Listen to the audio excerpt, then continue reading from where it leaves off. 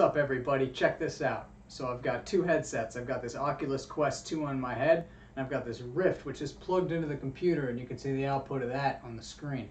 Both of us have a room name. My Rift room name is WJUUJ. My Quest room name I can see is DMCNW.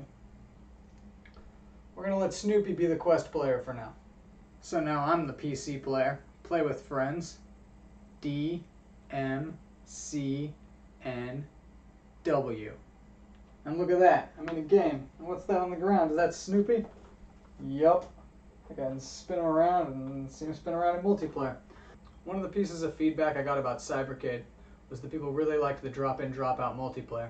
So I wanted to take that system and just abstract it out and make a template based on it so that anybody who wants to make a two-player multiplayer game doesn't have to spend all the time that I did fussing with trying to make this lobby system work. There's a link to the repository with this template in the description of the video. There's also a link to my game Cybercade on SideQuest if you want to play that. Happy game development, everybody.